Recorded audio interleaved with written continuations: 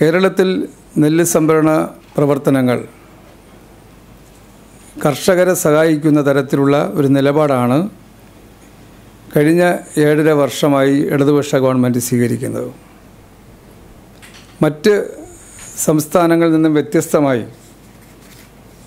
നെല്ല് സംഭരിച്ചാൽ കർഷകന് പരമാവധി നേരത്തെ പണമെത്തിക്കാൻ.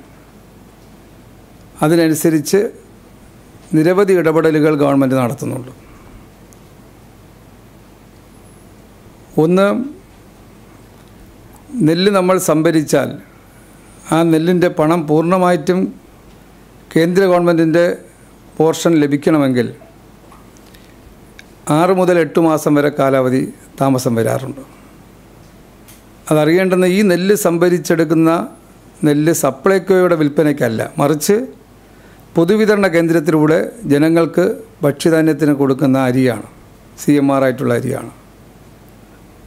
അപ്പോൾ നമ്മൾ നെല്ല് സംഭരിച്ചാൽ കേന്ദ്ര ഗവൺമെന്റിന്റെ വിഹിതം സപ്പോർട്ട് പ്രൈസ് കിട്ടുന്നത് ഒരു നിശ്ചിത ഭാഗം നമുക്ക് നൽകിയാലും ബാക്കി തുക ലഭിക്കുന്നത് നെല്ല് പ്രോസസ്സ് ചെയ്ത് റേഷൻ കടയിലേക്ക് അരിയായി എത്തി റേഷൻ കടയിലൂടെ അരി വിതരണം കഴിഞ്ഞ് ആ വിതരണത്തിന്റെ വിശദാംശങ്ങൾ അടങ്ങുന്ന റിപ്പോർട്ടോടുകൂടി കേന്ദ്രത്തിന് സബ്മിറ്റ് ചെയ്യുമ്പോഴാണ് നമുക്ക് ക്ലെയിം ആകുന്നത്.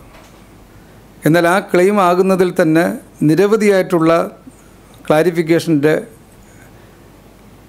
മറുപടി മറുപടികൾ നമുക്ക് ലഭിച്ച് അതിനെല്ലാം ക്ലാരിഫൈ ചെയ്ത് കൊടുത്താലും നമുക്ക് പണം കിട്ടാൻ ഒരുപാട് വൈകുന്ന അവസ്ഥയാണ്.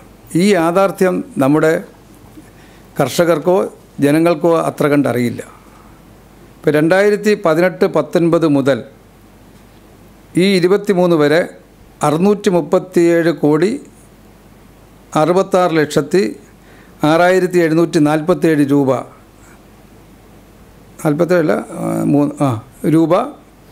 അറുന്നൂറ്റി മുപ്പത്തേഴ് പോയിന്റ് ആറ് കോടി രൂപ കേന്ദ്ര ഗവൺമെന്റിന് നമുക്ക് ഈ ഇനത്തിൽ മാത്രം നമുക്ക് കിട്ടാനുണ്ട്. അതിൽ തന്നെ ഈ അവസാനത്തെ മൂന്നാമത്തെ ക്വാർട്ടറിലെ മുന്നൂറ് കോടിയിലധികം രൂപയുടെ നെല്ലിന്റെ ക്ലെയിം നൂറ്റി അൻപത്തഞ്ച് കോടി മാത്രമാണ് കേന്ദ്രം നൽകിയിട്ടുള്ളത്. ബാക്കി ക്ലെയിം ഞാൻ ഈ പറഞ്ഞതുപോലെ കൊടുത്തു വരണമെങ്കിൽ നമുക്ക് ആറുമാസത്തോളം സമയമെടുക്കും. അവസാനം സംഭരിച്ച നെല്ലിന്റെ ക്ലെയിം നമുക്ക് കൊടുത്തു വരണമെങ്കിൽ. അപ്പം അതുകൂടെ കൂട്ടിയെടുത്താൽ കേന്ദ്ര ഗവൺമെന്റ് ഒരു വലിയ തുകയാണ് നമുക്ക് നൽകാനുള്ളത് എന്നുള്ളത് ജനങ്ങൾ അറിയേണ്ടതായതുകൊണ്ട് ഞാൻ സൂചിപ്പിക്കുകയാണ്. അത് എങ്ങനെയായാലും ഒരു മുന്നൂറ് കോടിയിലധികം രൂപയുടെ നെല്ല് നമ്മൾ ലാസ്റ്റ് മൂന്ന് മാസം സംഭരിച്ചതിന്റെ തുക വരും. അപ്പോൾ ആ കണക്ക് നെല്ലിന്റെ മാത്രമല്ല അത് പ്രോസസ്സ് ചെയ്ത് അരിയായി റേഷൻ കടയിലൂടെ വിതരണം ചെയ്തിട്ടല്ലേ നമുക്ക് ക്ലെയിം ചെയ്യാൻ പറ്റൂ. അപ്പോൾ ആ ആ കാലാവധി കഴിഞ്ഞ് വരുമ്പോൾ ഇത്രയധികം കാലതാമസം വരും. എന്നാൽ ഈ കാലതാമസം ഒഴിവാക്കാൻ വേണ്ടിയാണ് രണ്ടായിരത്തി പതിനെട്ട് മുതൽ കേരളത്തിൽ പി ആർ എസ് വായ്പ പാഡി റെസിപ്റ്റ് ഷീറ്റ്. കർഷകന്റെ നെല്ലിന്റെ അളവും കണക്കും സപ്ലൈക്കോയ്ക്ക് കൊടുക്കുമ്പോൾ സപ്ലൈക്കോ എടുക്കുമ്പോഴുള്ള ആ കണക്കോട് കൂടിയ ആ റെസിപ്റ്റിന്റെ അടിസ്ഥാനത്തിൽ ബാങ്കുകളിലൂടെ വായ്പ കൊടുക്കുന്ന ഒരു നിലപാട് സ്വീകരിച്ചത്.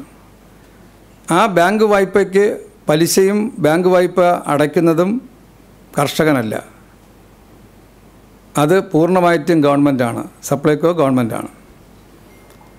അത് തന്നെ കേന്ദ്ര ഗവൺമെന്റ് നിലപാട് പരമാവധി ആറു മാസത്തേക്കാണ് അവരുടെ പലിശ നൽകുന്നതിനുള്ള അവരുടെ അവരുടേതായിട്ടുള്ള സഹായം നമുക്ക് ലഭ്യമാകുന്നത്. ഞാനീ പറഞ്ഞത് അത്ര കണ്ട് ബാധ്യത എടുത്തുകൊണ്ടാണ് സംസ്ഥാനത്തെ കർഷകരെ സഹായിക്കുന്ന ഒരു നിലപാട് കേരളം സ്വീകരിക്കുന്നത്.